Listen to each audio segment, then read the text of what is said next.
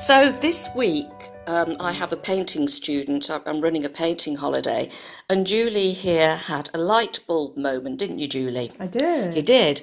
And the reason why she was trying to do a particular brushstroke and she was having trouble. And then I looked at her hand. I'm just going to zoom in on her hand. And I looked at the way she was holding her brush. And can you just stop a minute and I'll just point out?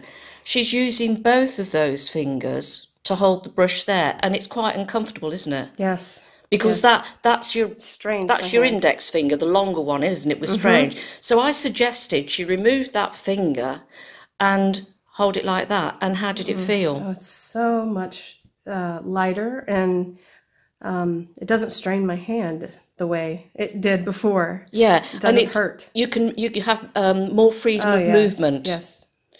Thank you. So remember, folks, it's not just the brush you use, how you use it. It's also how you hold it. So check your brush grip.